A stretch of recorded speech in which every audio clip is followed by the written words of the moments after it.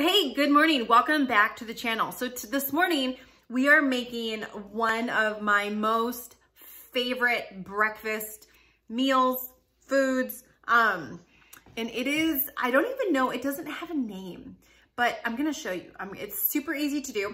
It involves oatmeal. Um, growing up, I was not an oatmeal lover. When I started losing weight, getting into fitness, trying to keep myself full is when I started getting turned on to oatmeal. Um, it can keep you full for up to three hours. And so when I learned that, I was like, oh, like, I think I need this in my life. And so, um, yeah, I'm going to show you my, it's a, it might, it's a mix of yogurt, cinnamon, oats, and I'm telling you, if you just heard that and went, ew, I can stop this now. I don't like those things. Do not stop it. Like watch it, make it, try it. My husband had the same reaction the first time I served it to him. I was like, here, honey, like this is one of my favorite things. I had been eating it for months and he looked at it like, what in the heck are you serving me, woman? It quickly became one of his favorites and he requests it as well. So now when I make it, I have to make double the batch because I know he's gonna eat some too. So first off, I'm gonna show you my favorite way to make, and my favorite way to make this is with steel cut oats. You can make it with regular oats, but the steel cut oats just, I don't know, it just ups it a notch. It just elevates it. It just takes it from, this is good to, oh, this is amazing. So, all right, my favorite way to make my steel cut oats is in the Instapot. I, I have tried the oven, the crock pot, the stove top, the Instapot takes the cake or a pressure cooker for making my steel cut oats. So you can certainly make them any of those ways. And here's also what I love about this, this recipe. I will make this ahead of time and put it in the refrigerator and then just like it's good to make. I can make this for two to three days throughout for the week, put it in the fridge, pop it out so I can make it ahead. So for those mornings when I don't want to make this every morning, um, and that's what I'm doing today.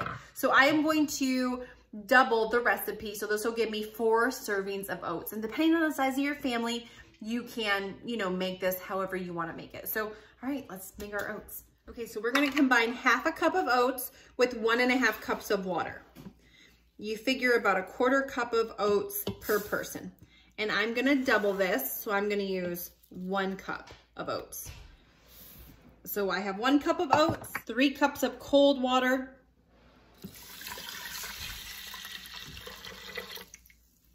and one teaspoon of cinnamon. What it looks like, not very appetizing right now. Set this to the porridge mode and put the lid on and get it started. Here's steel cut oats after the 20 minutes of working. Oh, they smell so freaking good. All right, so now we are, so I pre-measured our yogurt. I have 212 grams in each container.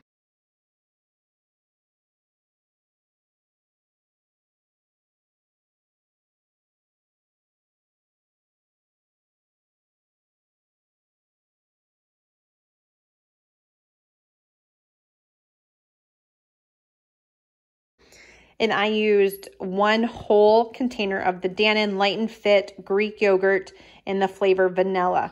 Oh my goodness, I'm not a fan of yogurt, but this yogurt right here, it is just amazing.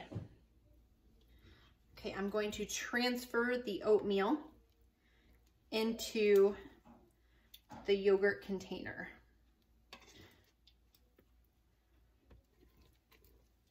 And I already know we have four servings.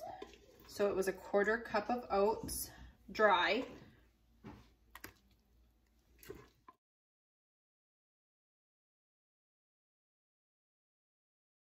Okay, and now you are going to mix it up. All right. You want to mix it really good.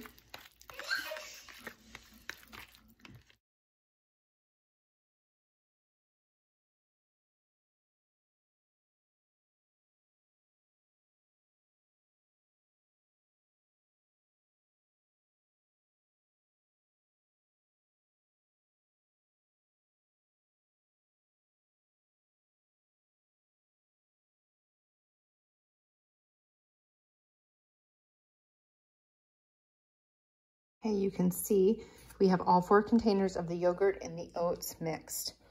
Now the only thing I'm gonna do from here step is I'm just gonna sprinkle on a little bit of cinnamon And there you have it. And if you really want to be bougie, if you really want to get fancy, if you really want to take this to the next level, take one teaspoon of peanut butter, drizzle it over the top.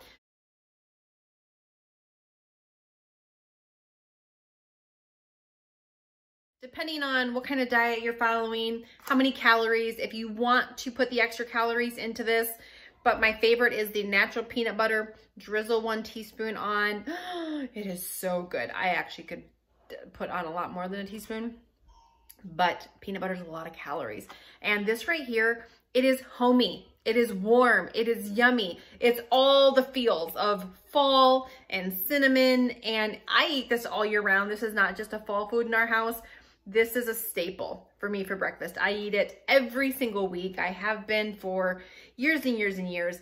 It's so hard to go back to regular oatmeal after eating it like this. Like, it is just delicious. And you can play with the ratios. Those are my favorite ratios.